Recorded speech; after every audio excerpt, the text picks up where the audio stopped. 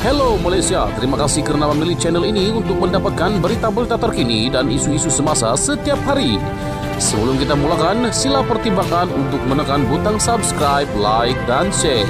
Aktifkan juga lonceng notification agar anda tidak ketinggalan dengan video-video terkini daripada channel ini.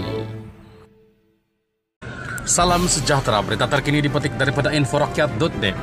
Panas, MOU, pemimpin pejuang luar rasa kecewa dengan Anwar PH.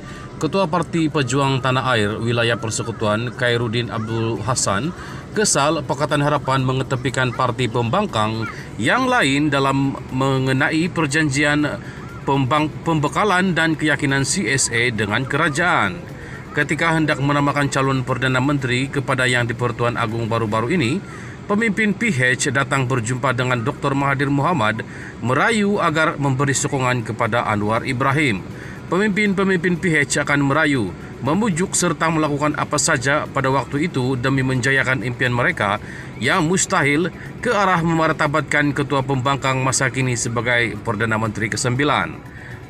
Kini apabila hendak berunding dengan pihak kerajaan mengenai senarai pembaharuan yang dicadangkan oleh Perdana Menteri, Anwar bersama pemimpin-pemimpin PH ketepikan pejuang, warisan dan muda yang sama-sama mengundi beliau sebagai calon pembangkang untuk jawatan Perdana Menteri katanya pada satu kenyataan malam tadi. Sekian berita, bye-bye.